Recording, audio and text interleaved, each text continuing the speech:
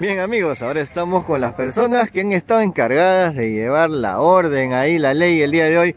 Yelixa y Luis, ¿cierto? ¿Qué tal? ¿Cómo estás? ¿Cómo estás? Primero las damas, ¿no? Dice ahí. Yelixa, ¿cómo estás? Bien, es, es muy bueno trabajar aquí porque el campo es amplio y no, no hay tanto contacto como en un campo más pequeño.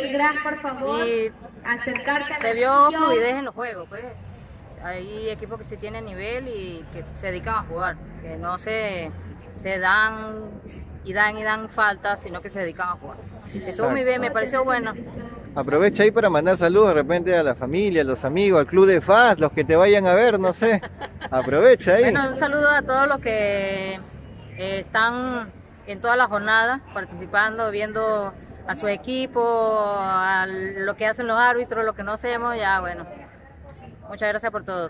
Muy bien, éxitos ahí.